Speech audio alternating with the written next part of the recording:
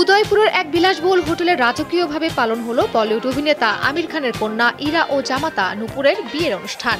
দীর্ঘদিনের প্রেমিক নুপুর শিখরের সঙ্গে অনেকটা পাশ্চাত্য কায়দায় বিয়ে সারলেন ইরা। অন্যান্য বলিউড বিয়ের মতো নিজের বিয়েতে মোবাইল ফোন বা ছবি তোলা নিয়ে কড়া করে রাখেননি তিনি। আমির কন্যার বিয়ের বহু ভিডিও তাই ঘুরছে সামাজিক মাধ্যমে। সেখানেই দেখা যায়, মেয়ে জামাইকে দেখে রুমাল দিয়ে চোখ মুছছেন আমির। পাশে সামাল দিচ্ছেন তার প্রাক্তন স্ত্রী রিনা। আমির বরাবরই আবেগপ্রবণ। সিনেমা দেখেও তিনি প্রায়ই কান্নাকাটি করেন।